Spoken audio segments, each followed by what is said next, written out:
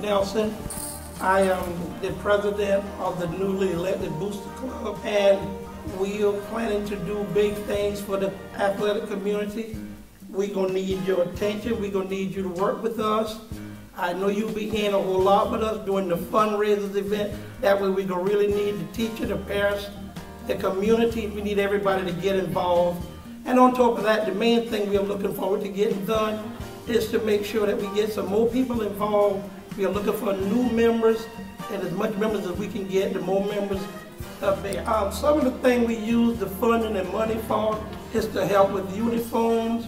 We want to help these kids get to camp because that's one of the main things now, getting these kids in camp and keeping them up to speed with the other kids that in the surrounding communities and schools and stuff like that. So, man, some of your money will be spent for uniforms, it'll be spent for pretty much anything that can help that child excel. Okay, and one of the easiest way to join is you can easily get in touch with some of the members that are already a member, and we meet every first Wednesday in every month. So you can come on out, we'll be looking for you.